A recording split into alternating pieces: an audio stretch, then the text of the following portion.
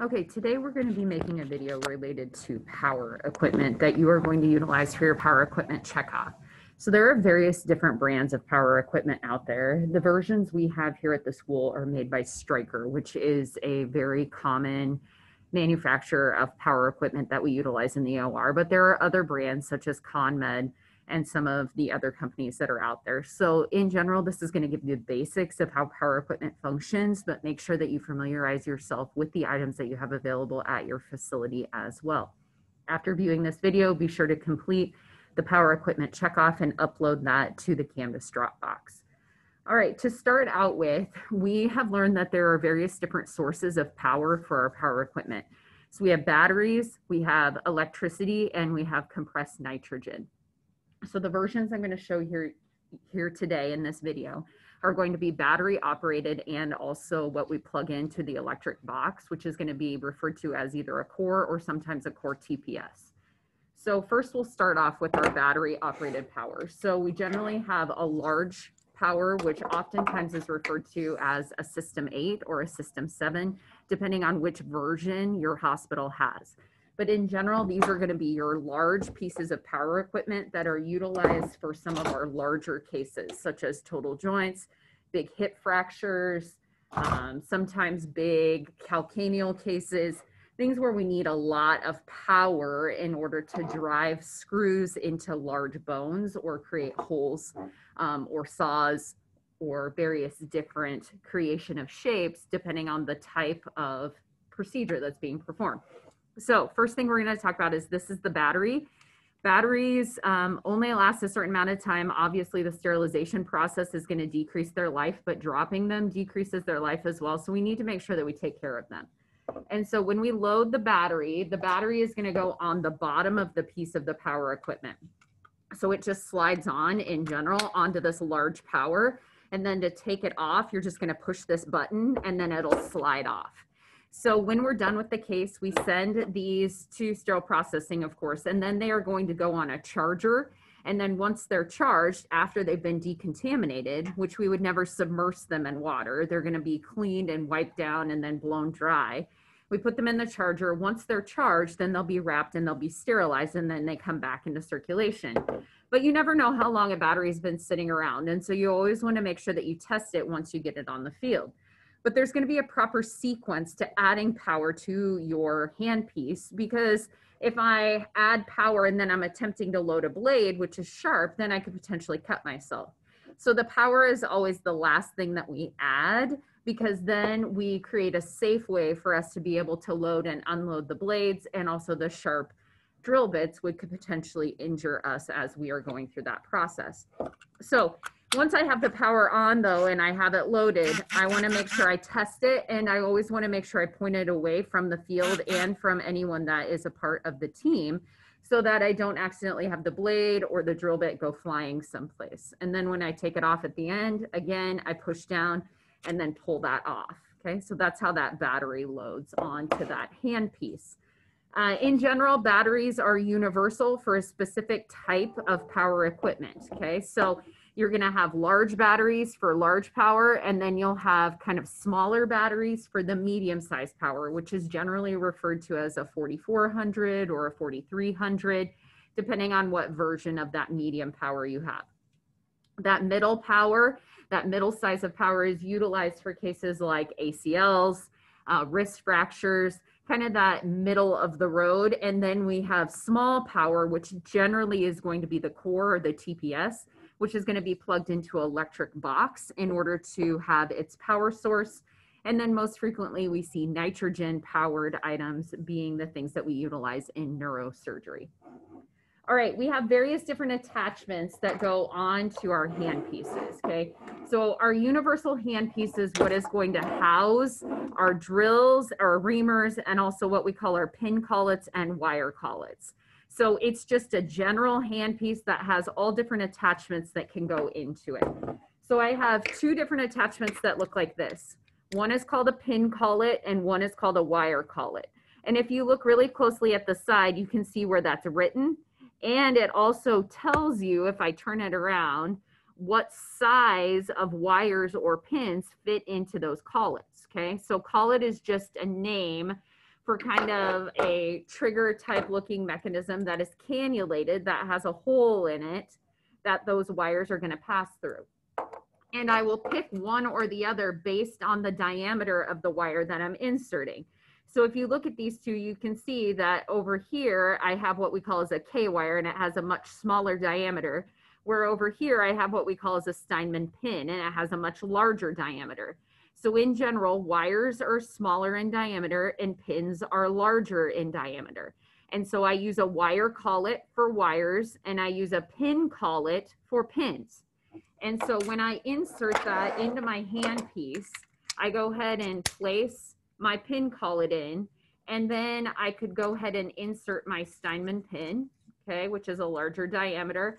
I leave enough length here, and then I would add on my battery source. And then when I hand it to my surgeon, I don't have to compress this trigger here. Inside, there's kind of ex an expanding piece that's gonna hold that in place. And then I would hand it up to the surgeon with my hand over the top like this, and then hand it to them to function. When they are gonna drive the pin in, they clamp down on this trigger, and then that's what's gonna grasp onto that pin and then allow it to be driven into the bone, okay? And then they will hand it back to us like this, empty. Of course, if they've put the pin in already, or if they're removing the pin, they can grasp onto that and then activate the power, and then that will pull that pin out of the bone. So that's a pin collet, okay? Wire collet is basically the same, it's just a smaller diameter. So it feeds on the same. I would put my wire in the cannula here, okay? I would add my power source. Again, I'm gonna hand it to my surgeon like this so that it's ready to go, making sure I keep the pointy portion away from my gown so it's not gonna get caught and cause a contamination. They would take and they're gonna compress that trigger as they drive it into the bone. And then they will hand it back to us. We would take that power source off and then further unload our attachment.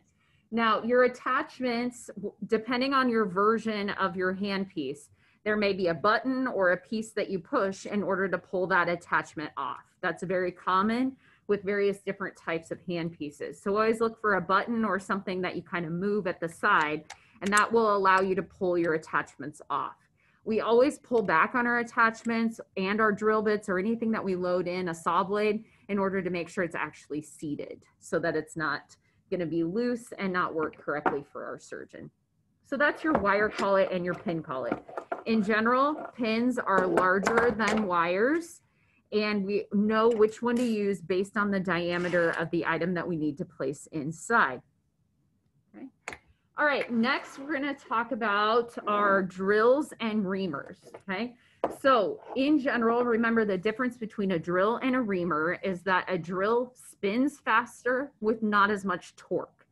And a reamer spins slower, but it has more power as it spins. And I always describe that as the drill is like the red hot sports car that takes off at a red light, whereas the reamer is more like the F-150 pickup. That's gonna be able to pull a lot more, but it's gonna take it longer to get going. And so we use drills generally when we're creating small holes that I want something to spin fast and go through. But I use a reamer when I'm trying to core something out, possibly the intramedullary canal or the acetabulum, something where I need more power so that with every turn, I am going to be taking more bone away and it's a significantly larger area. So that's kind of the difference between drills and reamers. Now, it depends on what version you have, but in some of our older attachments, things were actually color coded where you had different attachments based on if you had a drill or a reamer. Drills were blue and reamers were red. And we always remembered that as R for red, R for reamer. So when I was doing things where I wanted more torque, I make sure I pick a reamer piece. And then for drills, then I pick the one that was blue. So this is a Jacobs chuck and key. So when we chuck up things, we're gonna have drill bits that are round at the end. There is no flat section.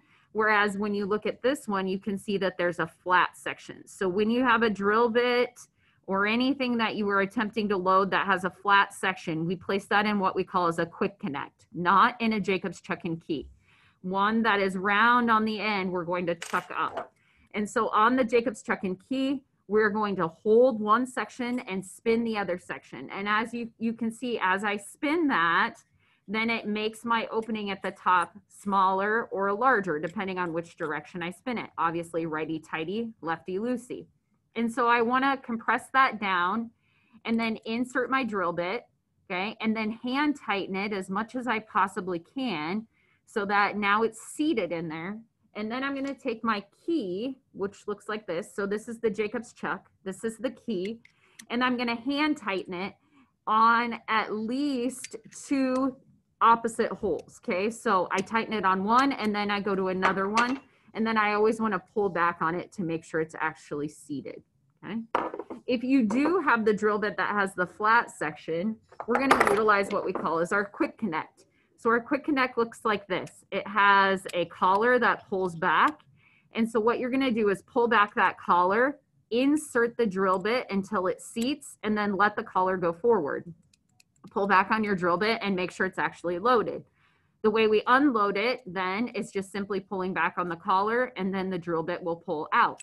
Okay, so again, pull back on the collar, insert it until it seats down, let go of the collar, pull back to make sure it's seated, and then pull back on the collar to unload it. Okay, once we have our drill bit loaded, either in our quick connect or in our Jacobs chuck and key, then we would go ahead and load that onto our handpiece. So we're gonna go ahead and insert that here, okay? And then we would put our battery on and we wanna make sure that we test it. Okay, so again, when we test it, we wanna make sure that we point it away from the field or away from anybody else, but always point it down that way, should the drill bit come dislodged, it's not going to go flying at somebody and hurt them. Okay. So we have that. Again, if you want to change, of course, you would take your power source off and then push this button and pull it off and you could switch it out for your other drill bit that you've loaded in your Jacobs chuck. Okay. Again, I would add my power source, test it, and then hand it up to my surgeon the same way that we were holding on to our pin collet and wire collet take off my power source, and then take off my drill bit. Now, in some of the newer versions, like this is a System 7, so you can see here that I actually have the ability in the same handpiece to switch from ream to drill. It's not in the attachments, it's actually in the handpiece itself. And so we just have one universal attachment that's gonna be utilized for both drill and ream. And this is actually what they call is a locking keyless chuck. And so on this one, if I wanted to chuck something up, I don't necessarily need a key to tighten it down. And so I just take again and I'm gonna spin until it gets smaller so that it actually grasps onto that drill bit that I've loaded inside there, okay? And I then you can hear it click as it tightens down. Okay, so it untightens and then once it tightens, now it's locked. And you can see that now you can see that arrow is pointing to the lock on the side there. And again, I'm always gonna pull back on my drill bit and make sure it's locked. But then that piece just fits into the hand piece here. Okay, I would pick if my surgeon wants drill or ream, depending on what we're doing. Okay, for this, this is a drill bit, so I'm gonna pick drill. And then I would go ahead and attach my battery. Now in the middle, you're gonna have a safety, okay? So this also means if I want my power to only go forward, or if I wanna have the ability to go forward and backward with the buttons that are here, depending on what I, how I have this set. So when I have this pushed out, I have the ability to go forward and I have the ability to go backward, okay? In the middle is your safety. So when it's on safety, when I push these, I don't get any power whatsoever, okay? And then if I have it pushed to the other side, then I only have the ability to go forward. When I push this button, it doesn't do anything, okay? So your surgeons may like various different settings here. In general, they usually like forward and back when we hand it up. But when we're gonna test it, make sure you take it off of safety Again, you're going to point it away from the field and point it down and make sure that your battery is actually working. Okay. When we hand it to the field, you're going to hand it up here and then hand it to function to your surgeon so that they're ready to use it, holding onto the top, making sure that the drill bit's not going to poke you in the arm. When you get it back and you want to unload it, remember we always want to take the power off first so that we're not going to hurt ourselves.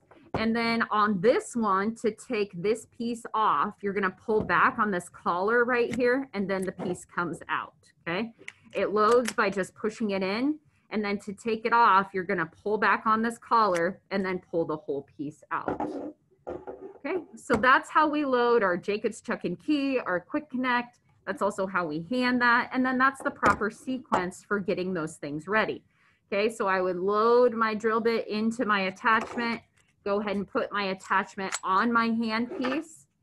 I'm gonna go ahead and load my power source. I'm going to make sure it's off safe, safety and test it away from the field. And then I am ready to hand it up to my surgeon. Okay. Then when it comes back to me, proper sequence for unloading is take the power source off first, go ahead and pull off the attachment. And then to get my drill bit out of my attachment, I'm gonna go ahead and loosen that. Either it's the keyless chuck or use a key to untwist it. Or if you have the quick connect, you're gonna pull back on the collar and pull that drill bit off.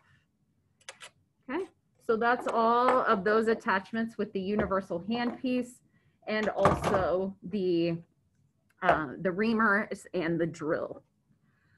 All right, next we're gonna talk about the various different saws that we have available. So in large power, we have reciprocating saws and sagittal saws. Remember that sagittal saws come straight off the end of the saw and they're gonna cut in a horizontal direction like this, okay? And this is what your saw blades are gonna look like. May not necessarily have the holes in them, may be completely uh, completely full here, but they're gonna look like this. Where your recip saw oftentimes has a cutting edge, sometimes on both sides. It may just be on the bottom edge here, but when we load that into the blade, it's gonna cut this direction.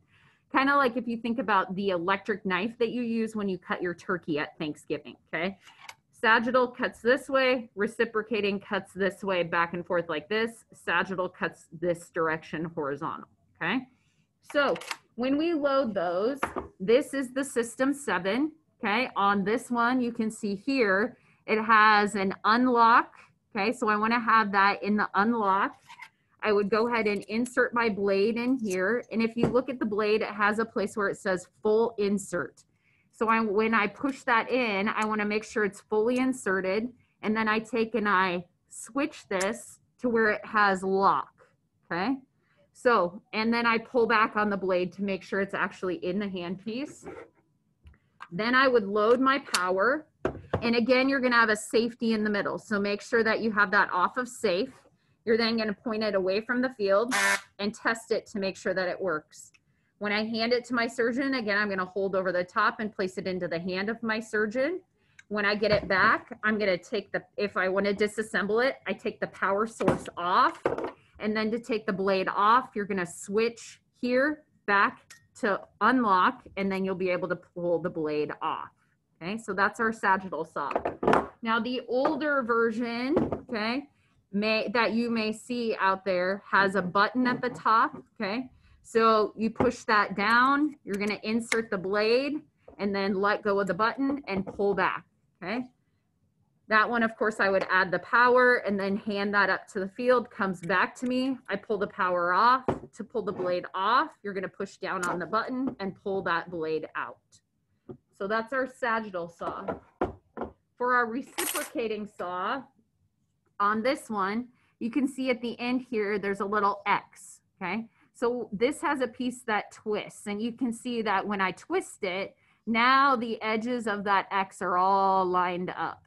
And so that will allow me to insert the blade uh, either vertical or horizontal, but most frequently we're gonna insert it vertical. And so I twist that and then I can take and I can insert my blade in here, okay? And then it twists down. Okay, so then I pull back on my blade, obviously being careful not to cut myself, but making sure that my blade is actually seated. Then I'm gonna add my power Okay, again, make sure that you take your safety off. You're gonna point it away from the field, test it and make sure your battery source works. Then you would hand it up to the surgeon. And then when they hand it back to you, you're gonna pull the power off. And then we take the blade off by again, twisting that tip and then I'll be able to pull the blade out. Okay. So the older versions function exactly the same way. So the biggest thing to remember is just making sure that you're gonna spin that tip there to be able to insert that blade, making sure there's no power on it while you are adding your reciprocating blade, just like all the other items that we've talked about. Test it and then hand it up to the field. And then when you're ready to disassemble, make sure you take the battery off first and then you can pull the blade out. All right, so that's all of our large power.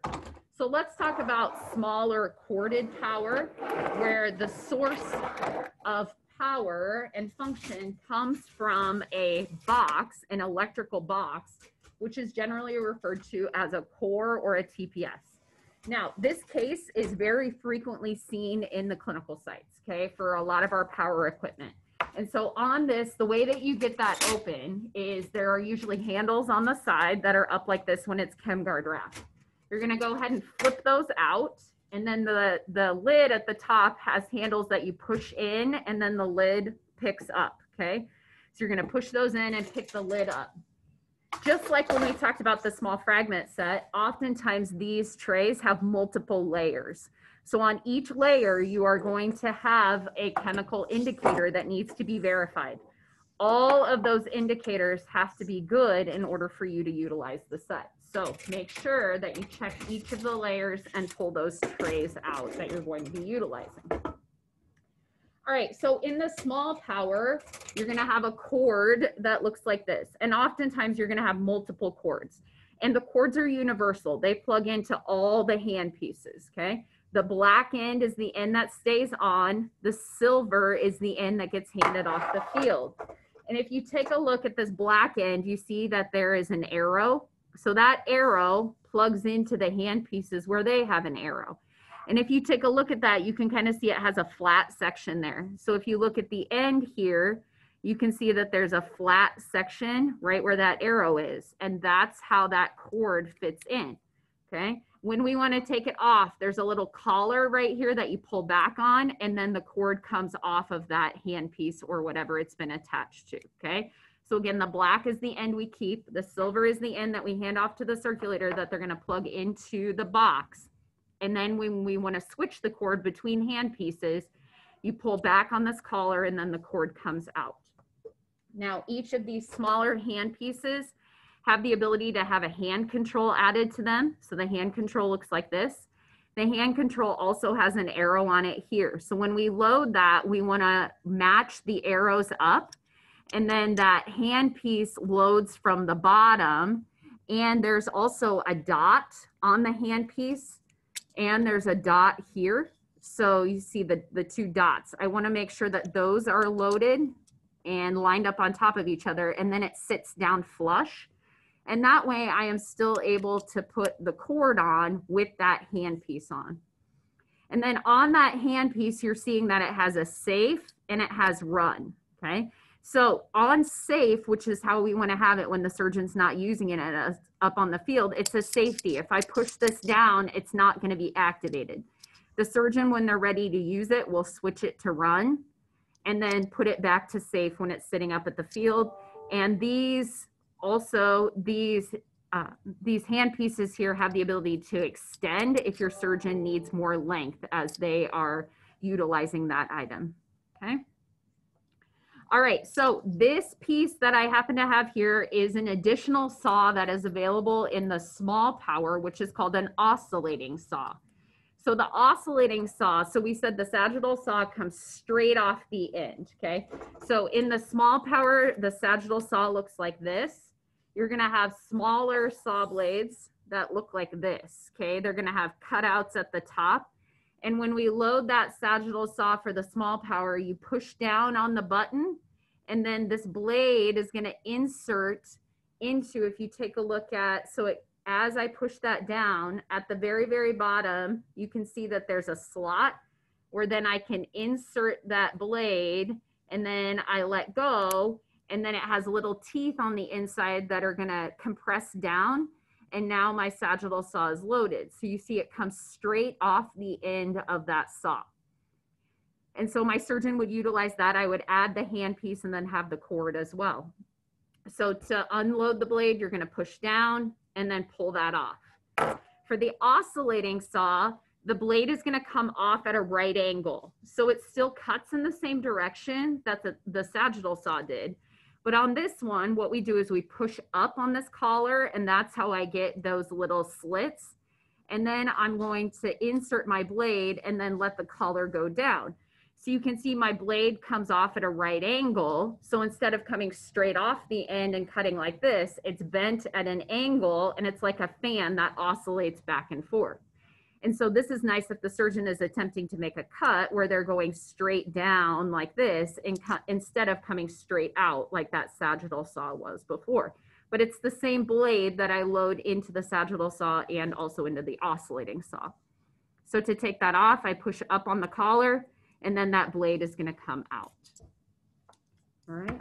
So in the small power, I also have what we call our burrs that we frequently use Okay, and so those, you have a hand piece that looks like this. And sometimes there are various different lengths of the attachments that go on here. They may be angled, they may be straight. And so burrs tend to be like small round balls that spin really fast that shave off bone or possibly create holes or shape it to be a certain shape. And so when we load these burrs, which come in all different types of sizes, they may be round, they may be oval, they may be egg shaped, it just kind of depends on what you're attempting to do. But the way we load them is on the side here, you can see I have run and I have load. And you see a little dot here with this collar. So when I want to load and place my burr in, I want to make sure that dot is lined up with load. I'm going to insert my burr until it seats all the way down. Okay.